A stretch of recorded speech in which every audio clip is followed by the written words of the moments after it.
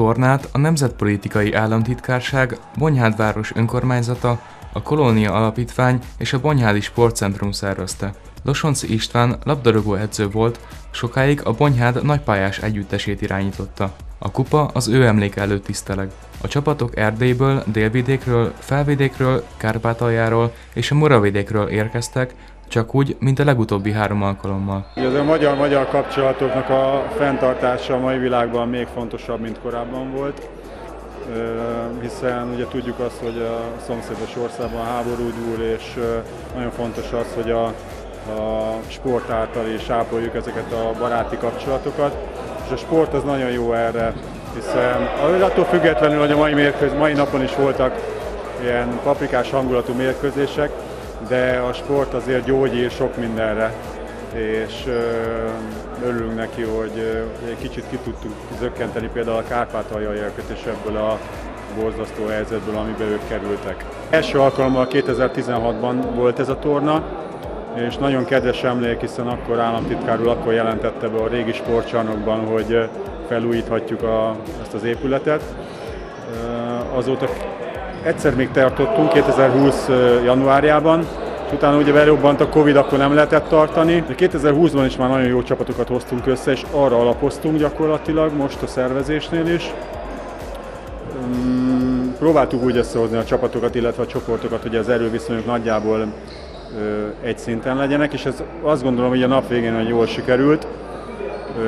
A külhoni csapatokat vegyítve az anyaországi csapatokkal olyan csoportokat alakítottunk ki, ahol kiélezett mérkőzések folytak, és lassan már így közeledve a döntőhöz voltak nagyon jó színvonalas mérkőzések, de ami a legfontosabb, hogy a, a, tényleg ezeket a magyar kapcsolatokat tudtuk a sport által is ö, fenntartani, ápolni és népszerűsíteni ezáltal is a labdarúgást. Bonyhádi Alakul gárdája évek óta részt vesz különböző teremtornákon. Korábban már kétszer megnyerték a Losonci kupát, idén csak a legjobb négy közé jutottak. A csapat játékosaik is tele vannak önbizalommal, mindenki mozog, mindenki játszik valahol nagypályás fociba.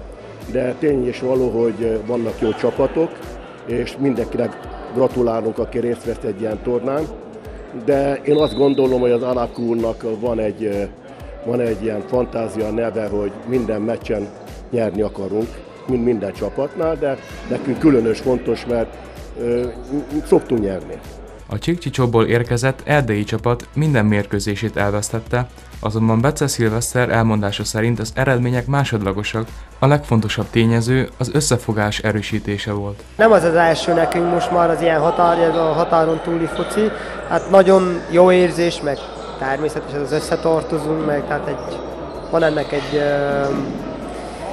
ennek egy érzés, tehát ez, ez más.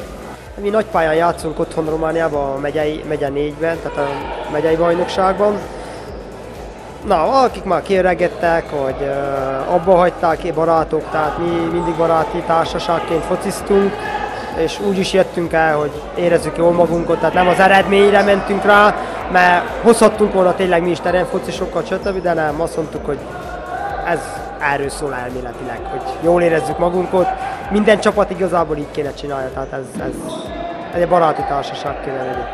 Van nál, nekünk most Csíkszeredában ott van a, az akadémia, tehát igen, tehát nagyon jó, tehát több csapat van, megyei szinten, körzeti szinten, ma hogy 20 csapatról is beszélhetünk. Ugye a Csíkszereda az a mondja magyaran az MB2-ben focizik, nem messze onnan a Sepsi Szentgyörgy, ugye az NB1-ben játszik, tehát van élet. Tehát most már egyre, egyre, egyre jobban a focis élet. Tehát ugye nálunk a hoki, a, az őshonos sportág, de most a foci nagyon nagy teret nyert így az utóbbi időben.